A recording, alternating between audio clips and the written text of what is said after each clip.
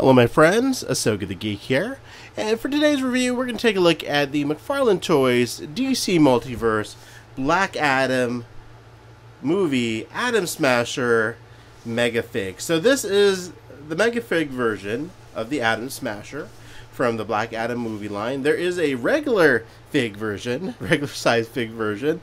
Um, I didn't get that one, so I have no idea if this is any different than that one.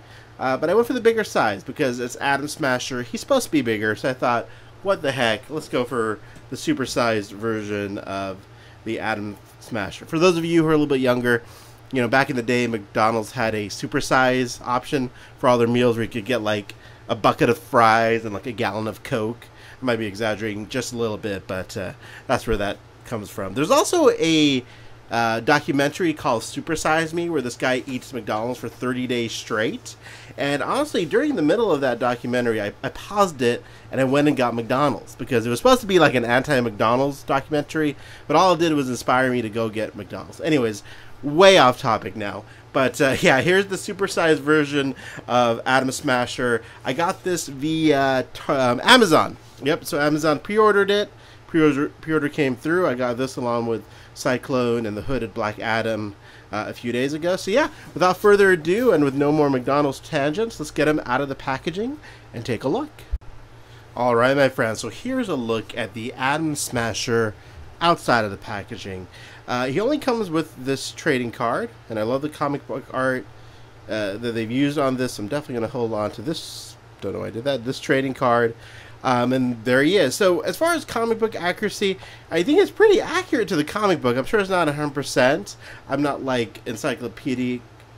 I don't have an encyclopedic knowledge of Atom Smasher, so I can't tell you off the top of my head if it's comic book accurate. But it looks pretty comic book accurate, accurate to me. It looks like the Atom Smasher. So there he is. Let's take a closer look.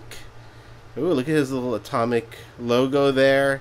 I love the mask. It's almost very Deadpoolish almost. Love the texture of the suit. He's very light, I, and I like that. I like that he's really light. I think he'll be easy to stand, and I like the poses you can make with him. Great range of motion with the net with the head. You know, a lot of movement with the arms and the wrists. A lot of great articulation you can do with this guy. So there he is. Um, and yeah, he is a mega fig. I don't know if he's worth the mega fig price. I made the same comment on my Sabbac uh, review. Like I think some of these would have been better as uh, collect and connect. For me, a megafig is like Bane, Darkseid, you know, something like that. But I'm still glad they made a bigger version of this, and we'll see how big he is in just a moment when I compare him to some other figures. Um, overall, though, I love the suit. The suit looks great. Love the texturing. Great paint applications there. Love the chrome, the silver look on the, the gauntlets. So yeah, I haven't seen him in the movie yet, other than the trailers, like what I've seen so far. Uh, but excited to see more of him in the movie. And yeah, so far I'm pleased with this. I can't say I'm ecstatic because again, I haven't really seen him in the movie yet, so I don't know how he's going to come off in the movie. But as far as just a, a you know an Atom Smasher action figure goes, I'm very pleased with what we what we have here. So there he is. All right, well let's uh, put him next to some other figures and see how he compares. Alright, my friends, so here is Atom Smasher next to the Megafig Sabbac. I was saying his name right, and then the movie Doctor Fate, which I love. By the way, I love how much controversy, controversy, I don't know if controversy is the right word, but with Doctor Fate, all the comments I've been seeing on my Instagram about his helmet, some people love it, some people loathe it. I love it. I love how weird and not and uh, asymmetrical that it is. You know what I mean? I just I just really dig that chaos in his helmet. But that's me. Uh, but anyways, back to Atom Smasher. So he does tower above Doctor Fate, or you know, he's taller than Doctor Fate, obviously taller than Sabbac, so that's cool. And I think he looks great. I mean, this looks like a movie accurate Atom Smasher that's gonna look great with the Justice Society. A couple things I just noticed as I was putting him up there. I like the zipper on his uh, boots there. I don't know why that just caught my eye. I like that little attention to detail.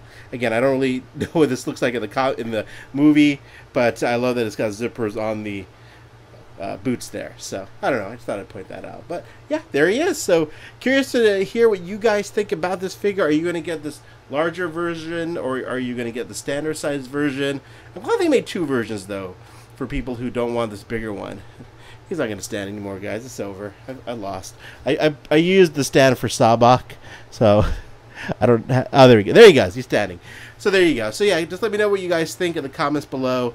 Uh, I like the bigger version. It's gonna look nice on the shelf. He's not too big, so he won't like tower over all the other figures, but he's big enough to like, hey, look, it's Atom Smasher. He should be bigger.